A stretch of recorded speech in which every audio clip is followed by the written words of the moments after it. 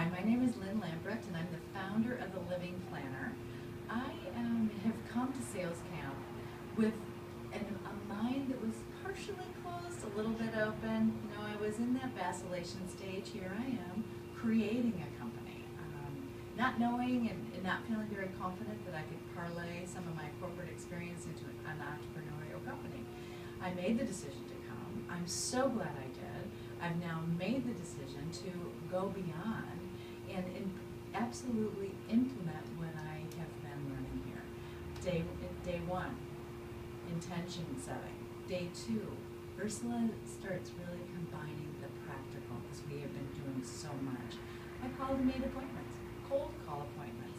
I didn't even know these people, and I, it was something that I didn't believe I could do until I knew that I was here. Ursula's an angel. She combines all of her business acumen knowledge of NLP and works with us as whole people.